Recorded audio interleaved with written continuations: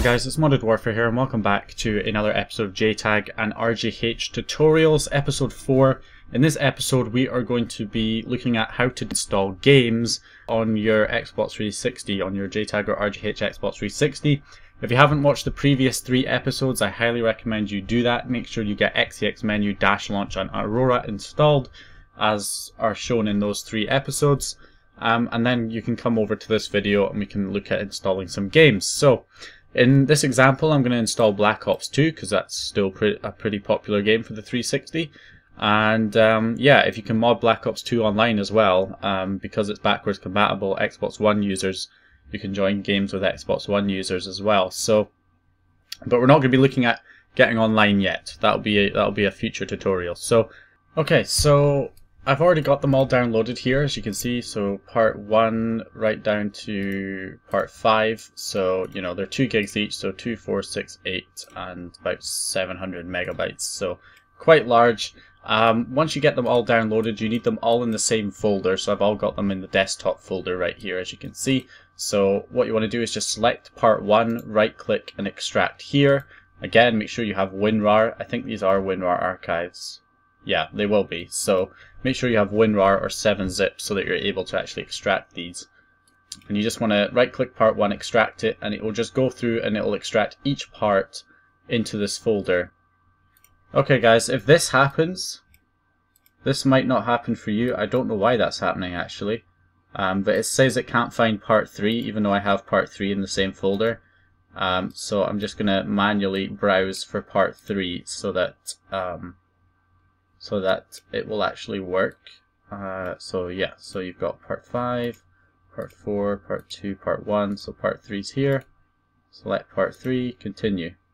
And that will continue extracting it. Now, that shouldn't really happen. Um, if all the parts are named correctly, then it should just go ahead and, and extract them all. Um, but if that happens and it says, hey, we're missing a part, we need part 3, we need part 4, um, then just click Browse, select part 4, and it will continue extracting.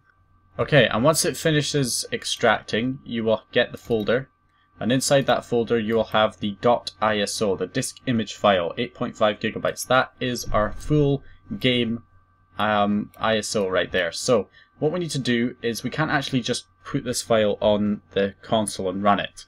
We need to extract all the files that are in here to the console. So what you want to make sure you do is that, again, you have a USB stick. So mine's still connected to my Xbox for some reason. So I'm going to go ahead and plug this into my computer. So this X, so this is my USB stick. I'm going to go ahead and close it. Make sure your USB stick is big enough to support uh, the the game. So you know, make sure it's you know above eight gigabytes, basically a 16 gig USB stick or higher. Um, you can of course use FTP to copy it over. I might show you that in this video as well if you don't have a USB stick that's big enough. Okay, I was going to use um, Xbox Backup Creator for this, but I'm going to use uh, 360MP instead because this is a better application really. I mean it's it's more stable. So what you want to do is just extract 360MP. Download for this will be in the description of course. Go ahead and run it and wait for it to open. Once it opens, it'll say select ISO file. So you want to select the ISO file that's in this folder. So select ISO file down here. Here we go. So we select the Black Ops 2 ISO file. We open it. That gets loaded in here. Then we need to select an output folder. So that's where we're going to save this to.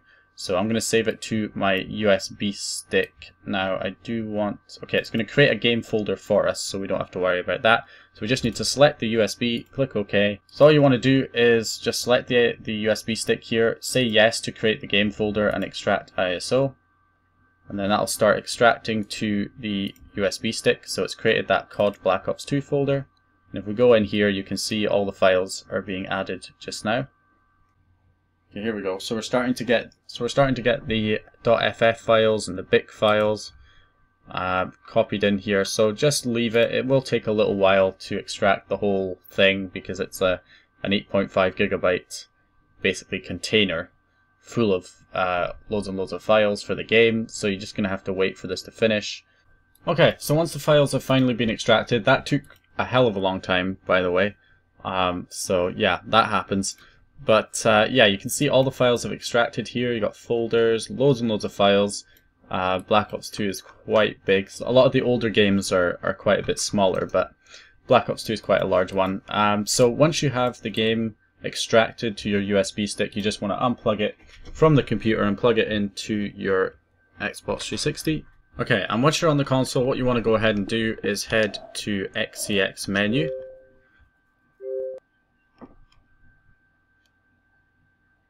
Once XEX menu loads, press right bumper.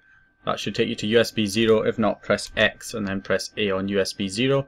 And then what you want to do is press Y on the Black Ops 2 folder or the game folder, whatever game you've been uh, you've got. So then press X, head to HDD1, and I'm going to create a new folder in here called Games. Try and keep things organized. So we're going to do Games. And done and that will create the games folder and then we'll go into the games folder press Y and press A to paste that folder in there. So again this is another thing that's going to take a while because it's got to copy all of those files um, from the USB stick all all the way to the hard drive. It's got loads and loads of files to copy. So once again you're just gonna have to wait for this to complete and once it's finished I'll be back with you guys. Okay so here we go. We're almost finished. 99% and done. Okay, so it's copied over to HDD1 now. So all you have to do is just run, you can actually run the game from XEX menu. You just have to go into the folder with all the files, scroll down until you find the default.xex or mp.xex and press A to start it.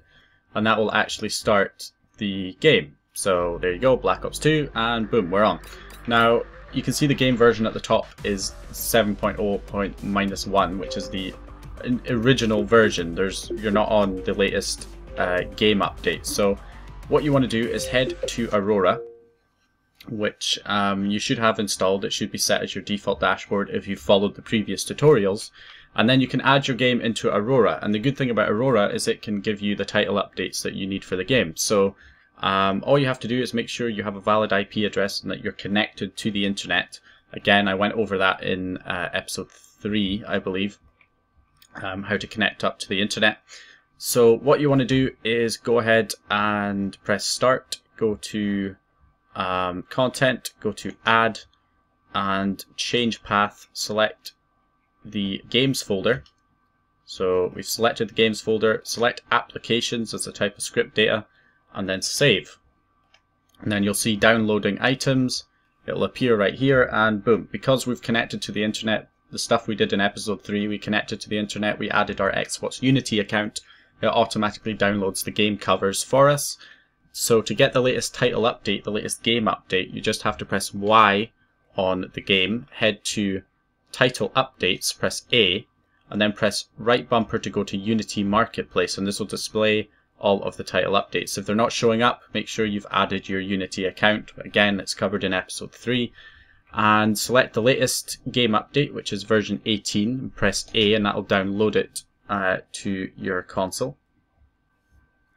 Okay, and once it downloads, you can then press left bumper, and that will take you to the downloaded title updates. And then you just have to press A to enable it, and now when I start the game, now this will only happen now if I start the game in Aurora. If I go back to XEX menu and launch the game, it'll still be on the, you know, the, the original version. But if I start it from within here, because I've activated the title update, it'll apply the title update. So you can see there, applying title updates. And when that gets to 100%, it'll launch the game and we should be on the latest update uh, version for the game, the same version that the uh, that you'd be on if you connected on Xbox Live, basically. So we've got the game starting. Don't know if I can skip this. Can I skip this? Yeah. Okay, so press start. Hard drive. And game update should appear. Please configure your settings. Okay, I've got to do all this. Just adjust this really quick.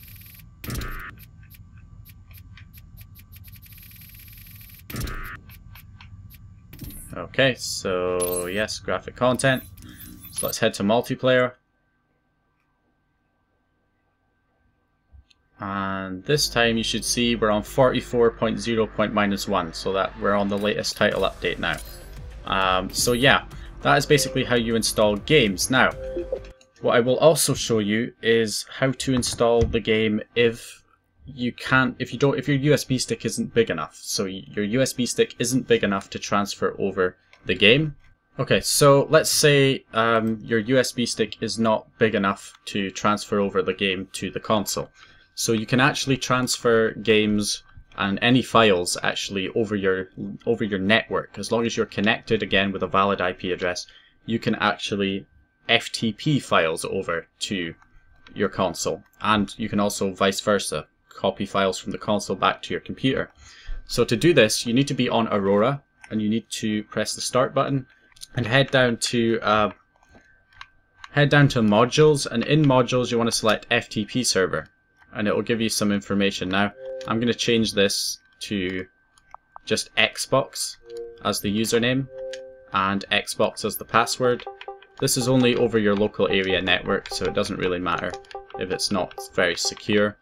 So Xbox and Xbox as the password. So now, what I can do is I can go ahead and download download FileZilla on the computer So I'm going to go ahead and install FileZilla. Uh, nope, I do not want that. Install it just for me. Next. I'm going to change the install directory. It doesn't matter, you don't have to do that. Just going to install it, launch it, and then I can actually connect to my console by putting in the host as my IP address, which again I showed you back on the console was 192.168.137.171 then the username which I changed to Xbox. I also changed the password to Xbox and the port is 21 then you just click connect and boom that's it. It's connected to me. So you can see that this is my uh, this is my Xbox file system. So we've got HDD1 there's games there's where my Call of Duty is installed. And we've also got my computer on the right so I can go into I think my USB stick has actually got the uh, oops, go out here. So my USB stick here has got Black Ops 2 so if I wanted to copy this over um, let's create a new folder in here just called temp game or something. So if I want to copy the uh, game from my computer to my console, I can just drag it from the computer to the console. And you can see here it's copying all the files over to the console. So that's another way that you can copy files or copy games if the game's too large to um, copy directly onto the USB stick. So you can do that as well. Now another cool thing you can do, if I just uh, cancel this, stop and remove all. So if I just cancel that, uh, you can also save it in the site manager. So if you open the site manager, you can create a new site called like RGH or something, and then put the information in here. So 137.171, port 21, put normal for user, Xbox and Xbox is what I set it to. And then I can click OK. So now whenever I want to connect to the console, I just need to make sure I'm on Aurora and then I can just click the drop down menu, click RGH, and it will connect me to my RGH. So that's another way that you can copy games over if your USB stick isn't big enough. So anyway, hope you guys enjoyed that video. That is how you install games. Um, the next video might be, mm, I might show you guys how to install games from a disk, copy disks to the hard drive because you know, you might have a bunch of Xbox 360 games on disk, actual retail purchase games that you want to install, and obviously you don't want to have to install it from random links on the internet. You might want to just put in your game disk and copy all the files from your game disk to the hard drive, and I'll show you guys how to do that in the next video. So Anyway, hope you guys enjoyed this video. If you did or found the information useful, go ahead and leave a like, subscribe if you haven't subscribed already, comment if you have any questions, and I'll see you guys in the next video.